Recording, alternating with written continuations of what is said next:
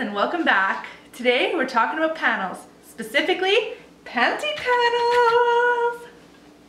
So today we're going to be using the Feel Frisky pattern from Ellie & Mac Patterns and I'll definitely link that below so you can get yourself a copy because uh, best underwear pattern ever. The first thing you want to do is get your pattern laid out. Take your measurements, pick your size, copy the pattern and get it cut out because that's how we're gonna use, that's what we're gonna use to figure out what we need to do to this panty panel to make it perfect for our pair.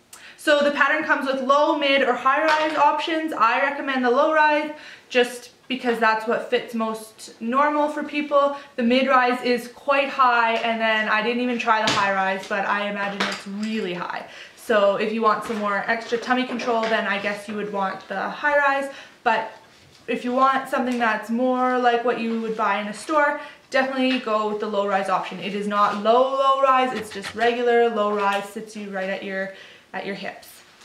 So first you're gonna trace out your pattern and get that all cut out, and then we're gonna lay out our fabric and our pattern pieces to see what we need to adjust. I'm gonna be adding some white fabric to color block a bit. So I'm just gonna lay things out and kind of decide where I wanna do the color blocking.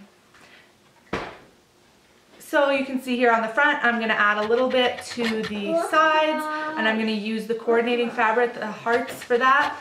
And then on the back, I'm going to lay it out and I'm gonna do a bit of a diagonal cut there and I'm gonna color block the sides will be the hearts and then the middle will be the plain white fabric. And Allison's Allison's patterns are all cotton lycra and they are so, so high quality. They're custom print, so they're definitely higher quality than what you would get from, you know, cheaper stores. I'm not gonna mention any, but you all know those cheap stores that you don't get good quality cotton lycra from. So these underwear are gonna be super comfy and super durable and they're gonna stay up, they're not gonna ride down, they're just super fun. So once you decide on what you, how you want to color block, now we need to actually make those color blocking pieces. So what you're gonna do is you're gonna lay out your your original pieces onto some tracing paper. So what you wanna do when you're color blocking is you're gonna make your cuts wherever you want them. Definitely make sure it's symmetrical if you're going for a symmetrical look. And then what, how you do that is you can't just cut and then use that as your as your template because there's going to be an extra seam in there, right? So I like to use quarter inch seam allowance because that's what my serger does easily. So I'm going to use quarter inch here. So when you cut, you add a quarter inch to every where there's a seam. So you can see here I'm cutting on the hip part of the panty. I need to add a quarter inch to the left side and a quarter inch to the right side. I'm going to take a little strip and add it to either side, a quarter inch, make sure it's a quarter inch measuring out and tape it on there. Alternatively, you could trace a whole new piece if you didn't want to do the taping part and just have that. Definitely make sure you label these right because you're gonna end up with a lot of pieces. Now, if you need to make something, put something together, like if you were gonna you know, connect at the hips or something, what you want to do is overlap them, but because there was already seam allowance built in there, now you're taking that seam allowance away, so you're going to overlap a quarter inch from each side. And that's, that's all there is to color blocking. It's actually really simple, and once you start, it's kind of addicting. You won't want to stop. So I just want to take the time to thank Allison over from It's uh, an Adult Panel Party and I'm not sure you want to be invited for supplying the panel for this video as well as the coordinating fabric. Leave her links in the description box. You can head over there and check out what she has in store. She's got all kinds of really high quality panels and then and they're great for things other than undergarments.